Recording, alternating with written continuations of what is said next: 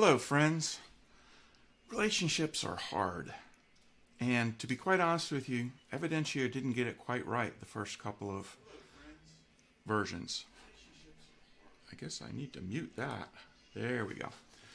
So, in this episode of Evidentia Answers, we're going to explore the world of parent child relationships, spousal relationships, and other relationships you may want to capture in Evidentia. So, stick around and we'll answer your questions.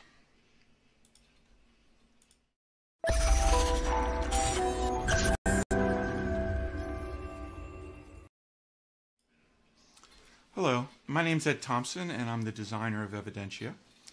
And what I want to do to, in today's episode of Evidentia Answers is look at the question of how Evidentia handles relationships. In the first couple of versions of Evidentia, relationships were messy. Uh, it was very difficult to capture, and there was a lot of repetitive work. If you had a, a parent and a child, uh, each parent had to be, you had to link the parent to the child and you had to link the child to the parent. In Evidentia 3, we took care of all that and we have a much more robust relationship system for capturing marriages, spousal events, birthing events, etc. And I want to show you how that's done today. So let me go over to my, um, let's see. Yeah. All right, so I'm going to switch over to a demo. If you'll bear with me for just one second. And here you should be seeing the Evidentia screen. This is my own personal. Uh, it doesn't look like you're, it's capturing it. Hold on one second. Pay no attention to the man behind the screen. All right, let's uh, let me adjust what I'm capturing here. Uh, uh, am I? Oh, there we go. Okay, it looks like we're uh, we're we're good to go now. So, in this Evidentia screen, you can see that uh, I'm looking at the uh, a Massachusetts birth record that I downloaded off of Ancestry.com. And in that birth record, uh, I was able to capture the birth of my great grandmother, Hitty Frances Brooks, who was born July 26, 1887, to William H. and Hattie H. in Abington, Massachusetts. Now, I put the uh, William H. Brooks, I put the Brooks part in brackets to indicate that the record did not show that, but that that's the um, William H. that I believe it's referring to, and the same with uh, Hattie Hunt Nash. Although it looks like I was real inconsistent in terms of using my brackets and my um, that. Yeah, you know what I mean. Okay, so what I want to be able to do, obviously, is this shows uh, multiple relationships. This shows a relationship between Hattie and her father, a relationship between Hattie and her mother, uh, and a relationship the other way around as well. So let's open up the uh, tag claim screen. And I'm going to select a claim type first. And the claim type I want to select is child. Now, to make things simple, Evidentia look, looks at everything from the perspective of the child. So if you're trying to make this kind of connection and you're looking for parent, for instance, in the drop-down list, um, you won't you won't find it. Let me delete this for a second here and show you uh, that there is no parent um, listed in the claims list, and and that's just it's really to simplify it. Think of everything from the child's perspective. So I'm going to select child again, and I can select not just one parent, but I can select two parents. So on the top, I'm going to select the main parent. Uh, not that there is a main parent, but um, uh, this is the one that'll just show up first in a lot of reports. And actually, it doesn't matter, uh, as you'll see in a moment. So let me look for William H. Brooks. There we go. All right, so now I've got uh, a potential um, claim tag here. But I do know the mother, uh, and we saw that in, as Hattie Hunt Nash. So let me, uh, can't be a lot of Hatties in my database. And there I've got, and notice that there's, um, where gender is known, I use the traditional blue and pink. Okay, so so far I've not done anything. I can change uh, whatever I want to here. I'm going to go over here and click Add Tags, and you'll see that. Uh, oh, well, that didn't work quite well at all. I wonder if I I chose the wrong uh, person. I did this wrong. Hold on one second. Let me delete that. And let me choose child again and I can only select one parent, and that is going to be William Brooks, and then I select the child, and that is going to be Hitty. And uh, Hitty Frances Brooks. That's my great grandmother. We called her Gram. Now, when I add the tag, you'll see that it we've just captured the relationship between Hitty and her father. So, in order to capture the relationship between Hitty and her mother, I basically just do the same thing again. And this time I select Hattie. And I select uh, Hitty again. All right, and I add that tag. And you see here that now I have the, the two relationships. And when I select done, those two relationships show up in the box. Now, why two steps? Why not just do the relationship between the three? Uh, and that's multiple reasons. Um, but the bottom line was when we first came out with this feature, we talked to the community, the community of users of Evidentia at the time, and we discussed do we want to try and prove each parent child relationship separately, or do we want to prove the, the three part relationship?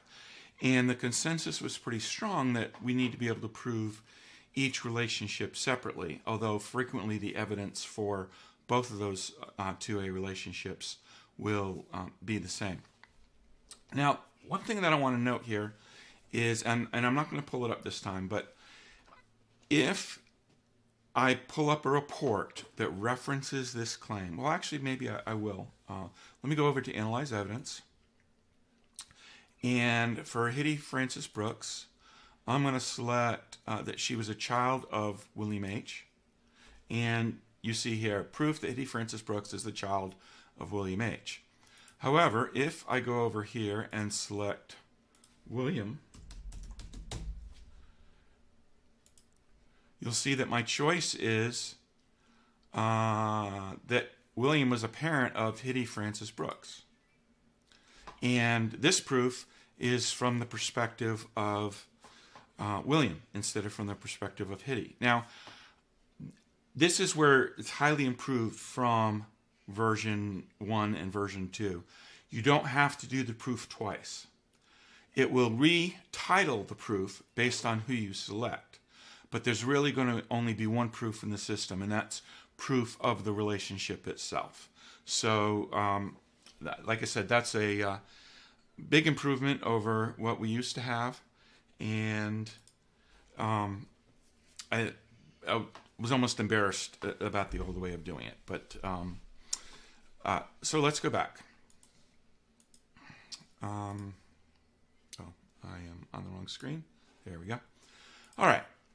So the next thing that I want to do is uh, talk about spousal relationships. So relationship between a husband and wife. And and the first thing to know, and this was also very difficult in the earlier versions, is a person can have more than one spousal relationship.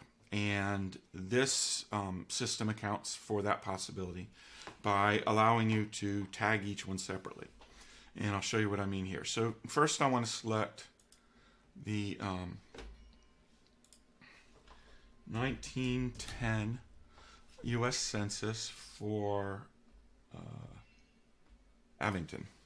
And I'm going to select my great grandfather, Frank Verling. And one of the things this record claims, and I don't remember where I got this particular record, probably from Ancestry. What this record claims is that as of the enumeration date, Hitty F. Thompson was the wife of Francis Verling Thompson. So how do we tag that? Um, so let's click on the tags and the claim type here. Now you might think marriage at first, and it wouldn't be wrong, but but remember that a marriage is an event. Okay, that that that is something that occurs uh, between two people at a point in time. So, in order to uh, account for spousal relationships, uh, w- whether they're common law or whether there was a marriage event or whether at any given point in time we don't know, but there, um, the proof is at least that they're in some sort of spousal relationship. Uh, we have a tag type called spousal relationship. Uh, and that's the reason for the difference. So here I can input both spouses. And if I don't know who the spouse was, I can select unknown. So I'm going to select uh, my great grandfather Frank, and he was the senior. And I'm going to select my great grandmother Gram Hitty, and I'll do add tags. Boom. And there I have the spousal relationship. Now, if I want to, if this also was for a marriage event, then I would go in here and click uh, marriage event. And I'm going to do that here for, for just a moment. And again, I'm going to choose Frank. And I'm going to choose Hitty. And I'm going to remember to add the tag. Boom. And now I've got two tags for um, this type of event. All right. Now, how does Evidentia know whether a claim type is for a single individual or a marriage or, or a, a couple, excuse me, or a parent child relationship? And to answer that, I need to go to the list manager. So we'll go to the list manager and we'll select claim types. And you'll see here that uh, there in the claim types, now here I haven't selected one, you'll see that there's a person claim uh, type mode, a couple relationship mode, and you'll see why we call it that in a moment, and then a parent-child relationship, which is a, a, special kind of relationship. So if I select uh, baptism, okay, you'll see that I'm going to, I'm typically recording the baptism of a person and the mode is person, and Evidentia knows just to provide you the one field for the name. If instead I select child, you'll see here that the um, mode is parent-child relationship. Now, I mentioned before that Evidentia is smart enough that if you look at a report or screen from the perspective of the child, it will tag it as you know that that so and so is a child of. Um, how does it know what word to use when you reverse it? And the answer is right here under reverse label. So when you choose the person on the other side of that relationship, it'll say parent of. And that's how it knows. Now, there's little use for other um, parent-child type relationships. Although one may might you might want to handle um, adoptions differently, fostering differently, and you could create your own claim type here with a parent-child mode. And for that, you would you would you know maybe let me see if I did that actually. So adopted child. Yes, I did. So here I've got the adopted child and the adoptive parent. So there are different kinds of parent-child relationships supported in Evidentia, and you can add your own. All right, so what about um, spousal relationships? Let's see, spousal or marriage. We'll, we'll just look at marriage. And you'll see here that it's a couple relationship. And since the relationship is the same, whether it's husband to wife or wife to husband, um, the uh, claim type doesn't need a, uh, you know, what do, what do I do when I reverse them? So um, spousal relationship is, is the same way. So I can choose spousal relationship there, and you see that the couple relationship mode is selected. And that's how it knows that um, I'm, I'm going to create a uh, tag that includes two people. Now, the reason it says couple relationship is that a husband and wife or domestic partner relationship are, are not the only kinds of relationships you may want to capture. Another type of relationship you want may want to capture, and this was added a while back because on request of other users, is this, you may want to capture siblings relationship, and you'll you'll see here that um, sibling is a uh, is also defined as a couple relationship. Now, you know, are are they brother and sister? Are they you know step brother, step sister? Uh, all the claim type is going to say is is their siblings, and if you want to differentiate that, you would do that in the analysis later on. But this will at least capture uh, that kind of um, of relationship. Um, so if you think of other relationship types that you may want to capture, um, uh, what would be one? I, I you know, I, I, I, use this as an example. It's a little bit funny, but you can actually use this for tracking property. Uh, you could have a relationship between a house and a homeowner. Um, and, uh, you know, want to prove that for uh, some reason. So you could create a, well, that a couple relationship um, there. That one is, implies ownership, though. So I would probably use parent-child relationship for that one. Uh, so I would I would select parent-child, and then the claim type, do it from the uh, child side. So the child would be the house, um, and the parent would be the homeowner.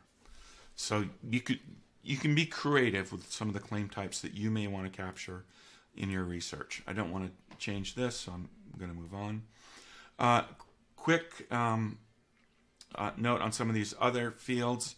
If in the proof for a GEDCOM file, for instance, um, you you know this siblings is a relationship, so you know you can provide a value. It doesn't. There is no place. There is no date. But as you're adding claim types, if you want to collect places and dates, etc., you can do that by uh, selecting the boxes. All right. So that is. Let me check to see if we have any questions first. Uh, and it looks like I'm not seeing any questions in the chat. Uh, come back and check that in just a moment. Um, let me go back to, uh, yeah.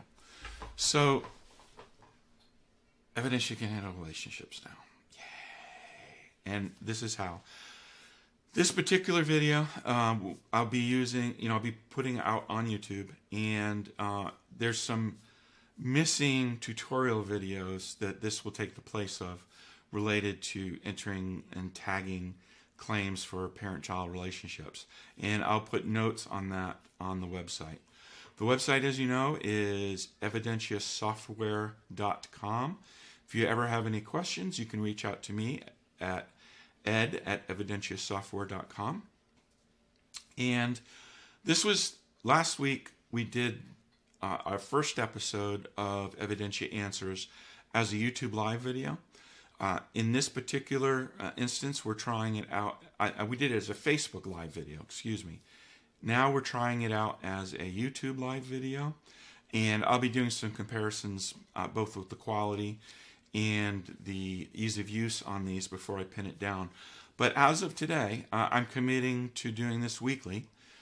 Uh, Evidentia Answers will uh, is on the um, Genea webinar calendar on at Tuesdays, 4 p.m. Eastern Time.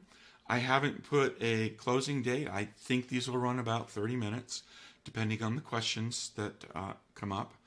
And um, I'm here to answer your questions. So if you have questions, you can contact me or you can enter in our Facebook book uh, community um, Evidentia Software users group, and I will try to answer it in the group. But some of these are going to be excellent candidates for this kind of live presentation and demonstration.